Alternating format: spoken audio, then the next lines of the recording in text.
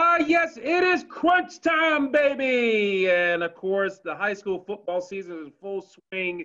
Game, we got a, a, bunch of games that we've just had. We got games on Friday night, we got a bunch Saturday. We even got a Sunday game to talk all about. This is, of course, Captain Crunch himself, the Crunch publisher, Carl York. What is up, Big Carl?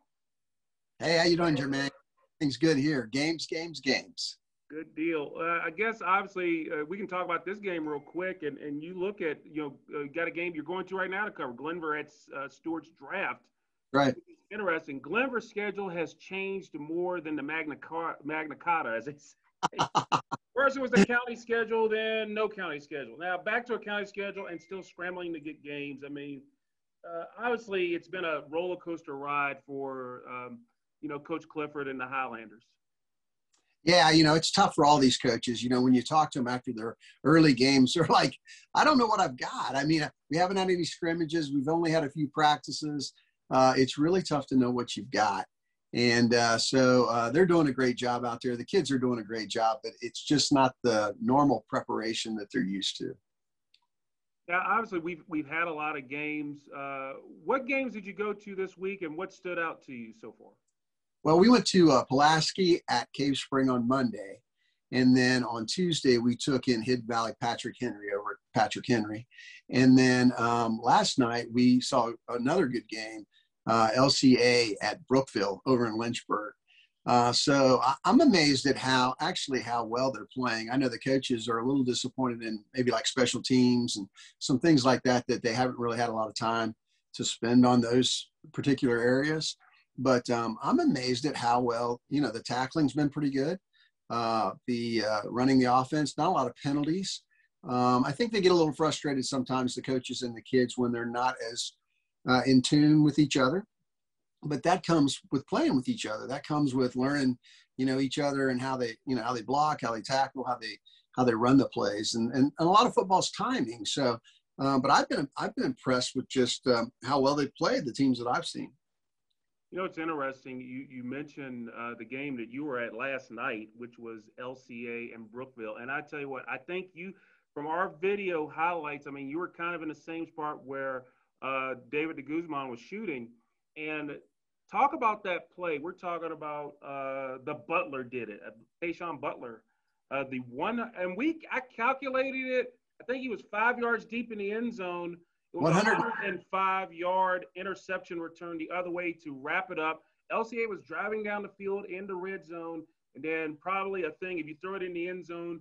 But it seemed like that Butler was thinking about, okay, should I run it out? So he ran it out, and 105 yards later, it's a pick six.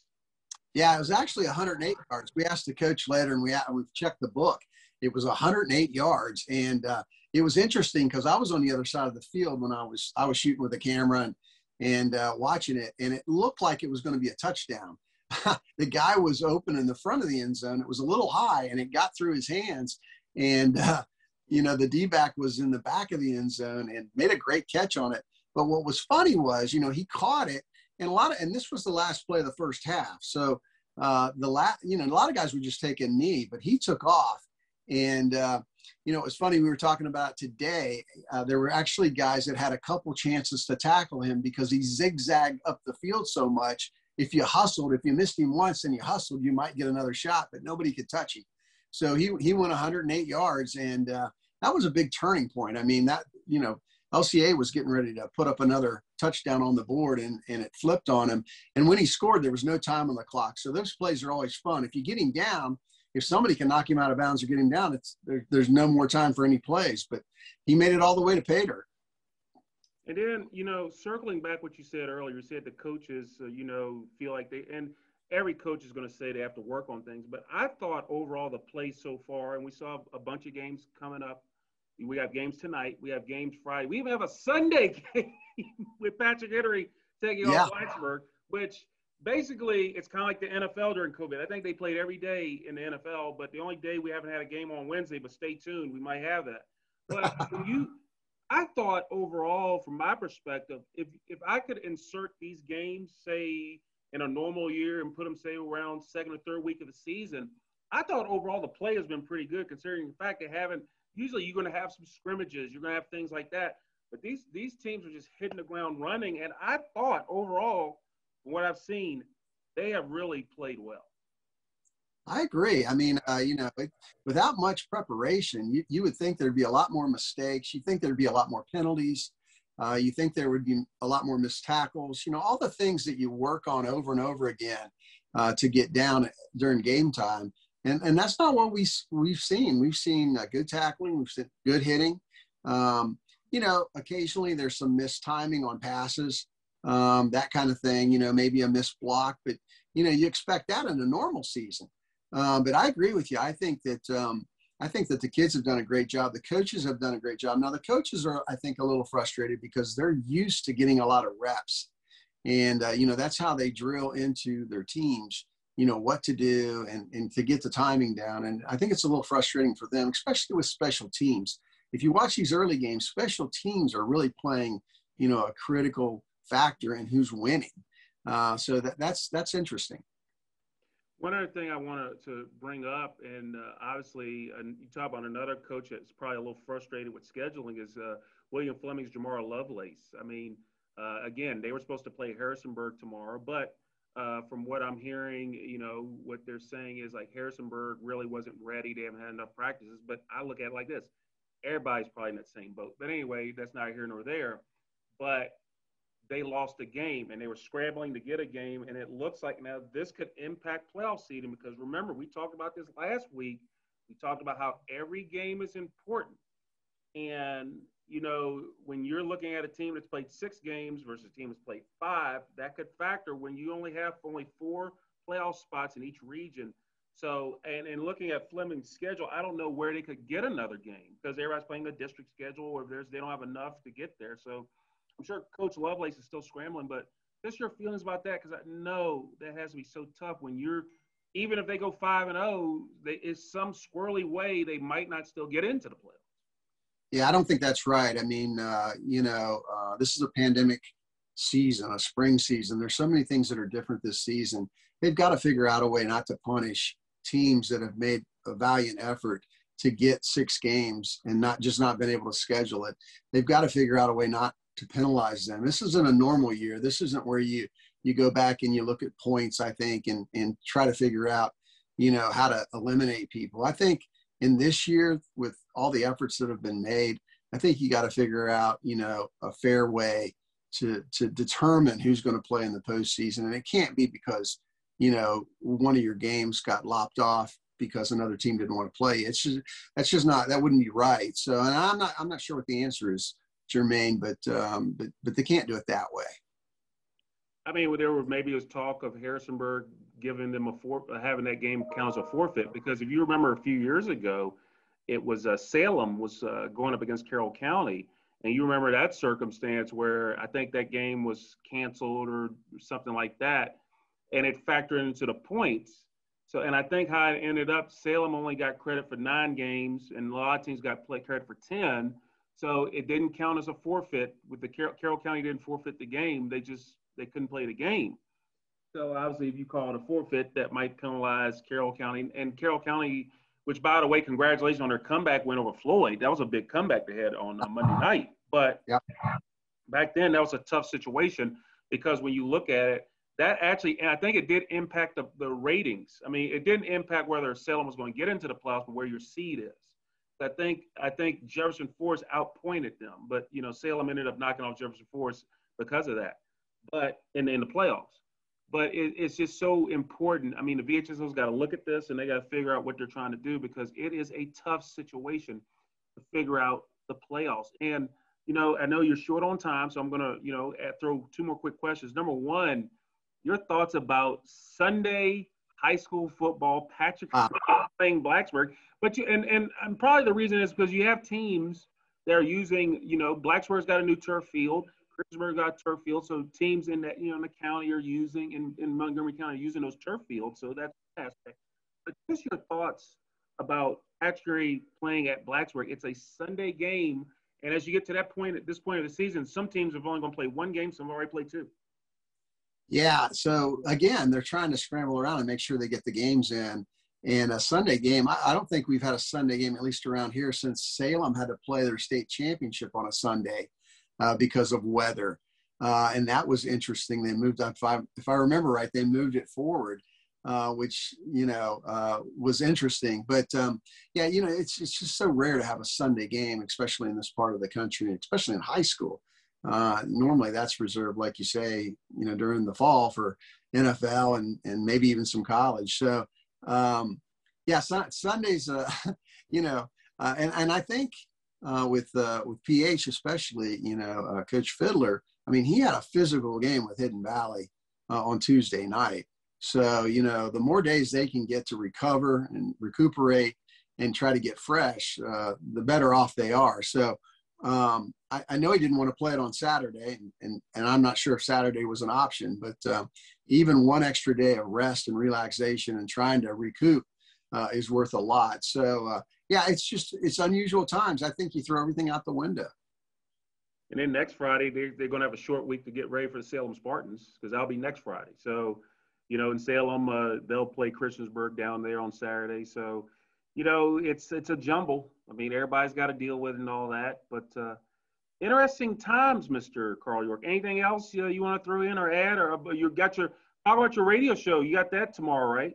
Yeah, radio starts tomorrow at 10, 10 to 11 on WPLY. We're excited about that.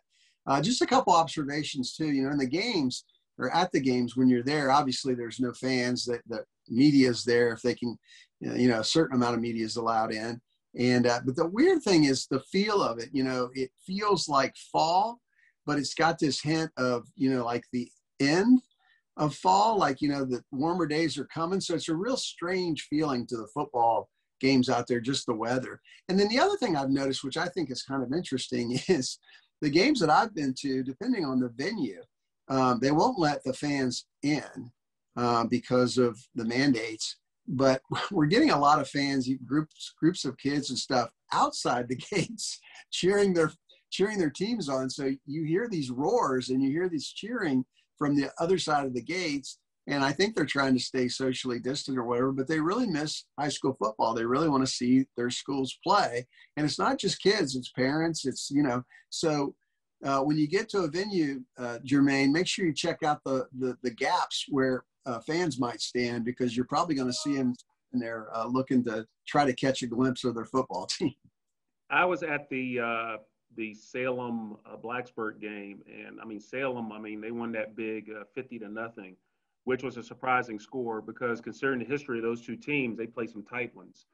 So it, it was interesting to see that. But yeah, I mean when you go out there, it just it's it's a weird feel and everyone's got different rules. Seminole District, they're not letting visitors, visiting uh, fans come in, and they're divvying up the tickets depending on the school. And you know, I think the biggest thing is, and I've called the governor's office, haven't got a definitive answer, but I'd like to know what is why is high schools considered recreational sports? Because I, that that that doesn't I don't understand it. I mean, because if you're going to open up the outdoor venues, which for concerts and all that, I mean, the high school should get that consideration of being okay. You got to loosen that up. I don't know what there's an answer is, but I'm, I'm sure that uh, they'll have to figure that out. But yes, your thoughts about that? I mean, rec- I mean, high school's considered recreational sports. Yeah, that's unusual. I mean, you would think since it's outdoor that uh, they could manage, uh, you know, keeping people socially distant up in the fan, up in the stands, and and let people enjoy at least some people, at least the, the parents, enjoy watching their kids play and, and being safe out there. I, I, you know, but the but the interesting thing is, you know, they're watching it anyways. They're they're going outside the fence and they're standing and watching and cheering, and it's just an odd time to hear the crowd outside the venue cheering. It's just an unusual thing, um, but that they, they want to root their kids on and they want to see it live and uh, you know i hope they can figure out a way to, to let more people in soon because uh, you know this is a quick season. It's six regular season games and it's four playoff weeks and it'll be done. And before you know it we'll be talking about fall season. So uh, but these kids you don't want to rob these kids the seniors this year of what season they get. And and it's it's not long but uh, but they are happy to be playing yeah, so WFXR's Friday Night Blitz presenting Crunch Time on WFXRTV.com. And uh, so, one final question. I mean, again, your radio show, WPLY, that's from 10 to 11 on WPLY. And of course, you have your segment on Greg Roberts Live with Greg, Randy, and uh, Doug and uh, Chuck over there. You guys do a great job with that. But also another thing too, uh, the Crunch Publications um, and online. Give us a little background feedback on that, and and how how are you getting that out as far as the, the publication? Any differences from last year to this year, and the online version? Yeah, the online exciting. I mean, it's uh, the way we're doing it. It's a little bit smaller publication this year, and what we're going to do is turn people uh, for more information online, so we can make it a little more affordable.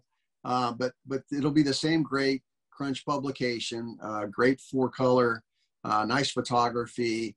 Uh, it'll be a little more of a tease to to go online and, and check out you know everything that we've got to offer. But but online offers you you know we're going to have interviews. You're going to be able to hear the kids uh, when we interview them a little bit. And the coaches have great comments. There's nothing like hearing the actual coach you know and seeing him saying what he's saying. You know you can write it and and and get close but when you you see the intensity or you see the emotions on the coaches and the kids it, it makes it special. So we're excited about going online uh, we, we've got a lot of uh, new stuff on there you just have to check it out i mean uh, we're uh, next week is when it launches. So uh, um, you know, this week we've uh, we we're, we're planning on we're right in the middle. We're planning on covering seven games.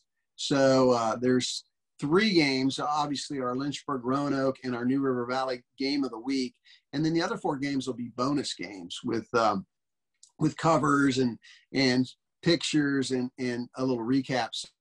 It's going to be really cool. I, I think people are really going to like. it. It's good stuff. And of course, our crunch publications or crunch segments, crunch time segments, all right here, they'll you you'll provide a link to get to this segment.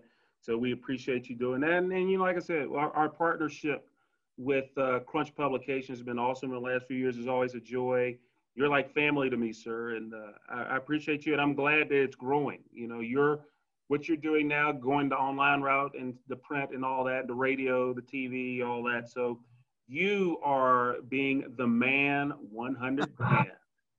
well, I tell you what, Jermaine Event makes it special for us. Uh, you know, I don't know if people know your nickname. We call you Jermaine Event over at Crunch because you are the main event.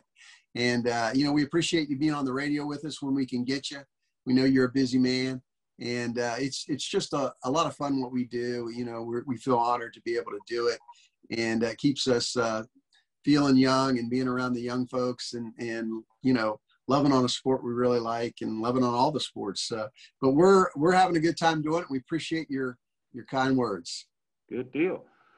Well, guess what? We're going to put a bow because Carl's got to get to the road and go to Stuarts Draft to cover Glenvar and Stuarts Draft. That should be a fun game up there. So, Carl, again, thank you so much for being on Crunch Time, presented to you by WFXR Sports Friday Night Blitz.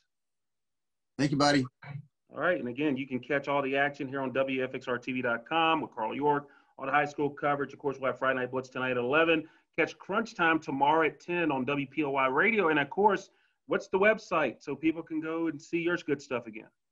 It's crunchhssports.com. So it's crunch and then HS, which is short for high schools, and then sports. So crunchhssports.com and it won't be up till next week. Right now, we still uh, have some basketball up there right now from the basketball season, which is cool. Got to check that out too. Uh, but uh, next week it'll it'll launch. All right, sir. Well, we again appreciate you and safe travels up to Stuarts Draft, Carl. Thank you, buddy. Have a good week.